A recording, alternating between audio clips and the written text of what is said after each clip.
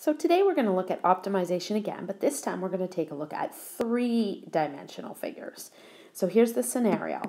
The Acme, the Acme Box Company designs and manufactures boxes, cans, and other containers. They've been hired to design a box to hold a thousand centimeters cubed of popcorn kernels. Note this is popcorn kernels. Um, and the box can have different dimensions. And again, we will want to look at what would be the best scenario. If they're designing these boxes, we want to look at the scenario that would have actually the lowest surface area because we want to they want to obviously use the minimum amount of cardboard to create these boxes. So here we have all kinds of different scenarios. I've of course given you the length and the width and you need to calculate the height. They all have a given volume of a thousand centimeters cubed. So hopefully you can figure out how we're going to calculate these heights. We're going to take the volume and we're going to divide it by the length and we're going to divide it by the width, right? Because length times width times height equals the volume. Okay, so let's start with one, not the first one. It's always better to start with a different one. So if we look at this one here where we have a length of 1 and a width of 2, we know that we're going to find the height by taking a 1,000 divided by 2, and that's going to give us a height of 500. Okay, I'll fill this one in too above. It would have been a thousand. Okay, now think about how you would calculate the surface area over here. Very important. Okay, for the surface area, you'd obviously have to do length times width plus width times height plus length times height all times two, right? So you're going to use your formula to fill in the surface area here. So the first one, you're going to get a surface area of 4,002. So for the next one here, if I start multiplying the dimensions, I'm going to get 1,000. I'm going to get 500, so that's 1,500. And I'm going to get 2, so 1,502, 1,502, and then that's doubled, right, for surface area. So it's going to end up being 3,004.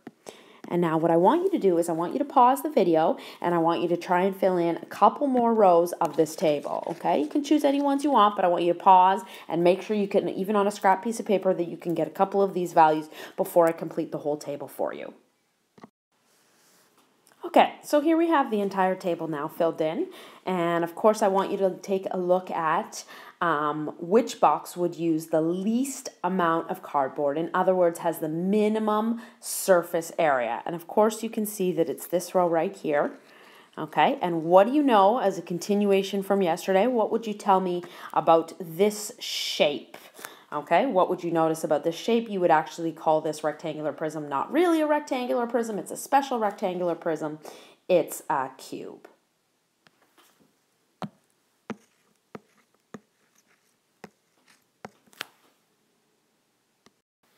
Okay, so like we said, of course, then this is the shape of a cube. And the cube actually has a couple special formulas, just like we did yesterday. The volume of a cube, instead of writing length times width times height, we can write side cubed because all the sides are the same. And the surface area of a cube, we actually just have six sides that are all the same. They're all s times s, or length times length, or whatever you want to call it. So, and there's six of them added together. So it's actually 6s squared. So I want you to make note of that, okay? Now, why do you think it would be important to minimize the surface area? Like we said, this would use the least amount of cardboard, and obviously then this would be more economical and more ecological, right? Better for our environment and would, of course, save a company money. So these would be the reasons why we would want to optimize or minimize the surface area, okay? Okay, now just like we did in two dimensions, let's ask ourselves the question, suppose the company wanted to redesign the package into a cylindrical container. What relationship must exist between the diameter and the height in order to minimize the surface areas?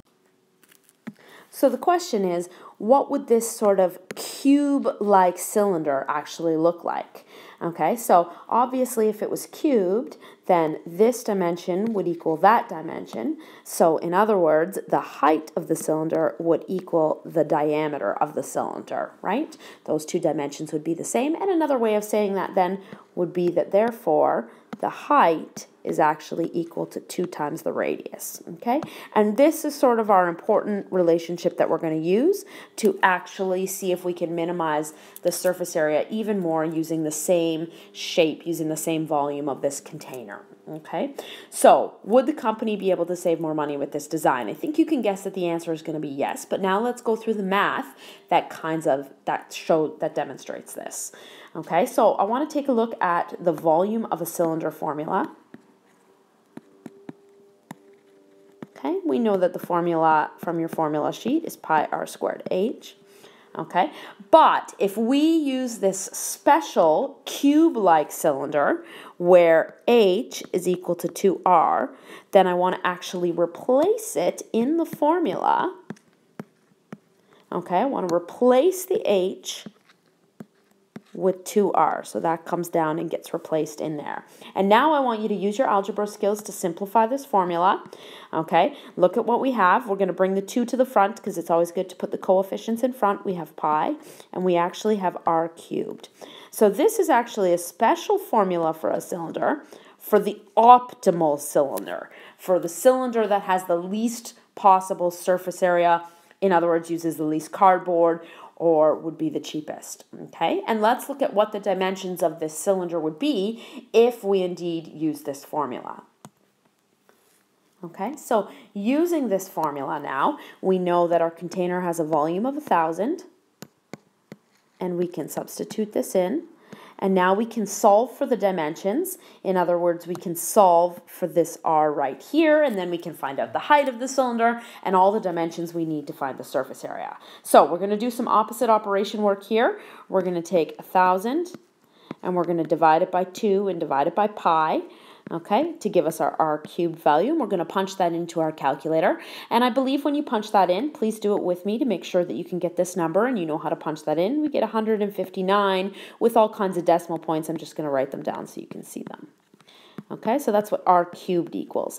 Now, in order to get r by itself, we're going to have to do opposite operations. We know that we, when we have squared up here, we take the square root to get this number over here. So similarly, when we have a cubed, we're actually going to take what's called the cubed root. And you're going to need to find that button on your calculator. Okay, it looks like this with a little 3 in it. Okay, and you're going to take the cube root of 159.1549. I'm just keeping as many decimal places to be as accurate as possible. And you should get a number like 5.4193 um, for your radius. So in other words, your radius is 5.4. Okay, so therefore then our radius is 5.4. That would of course mean that the, our height is two times the radius, right, equal to the diameter. So that would actually mean we have a height of 10.8. And of course, these are all centimeters. Okay, so that's how we actually find it. Now let's see if that surface area actually is minimized. Remember, our surface area of a cube was 6,000. So if we just plug this into our surface area formula really quickly, okay, we can use our normal formula, which is 2 pi r squared plus 2 pi r h Okay, we're just going to plug in these new special dimensions. So we have 5.4 squared plus 2 times pi times 5.4 times 10.8. And if you take a minute and please punch that into your calculator, it looks like you get a number of 553.6 centimeters squared. And of course, this is less surface area than our 600 centimeter squared cube. So this would actually save the company even more money. And that's what I want you to make note of is this special cube-like cylinder would actually save us even more money than the cube. So the cube is better than any rectangular prism, and then a cube-like cylinder is even better than that, okay? And we'll work with this formula tomorrow. Thanks.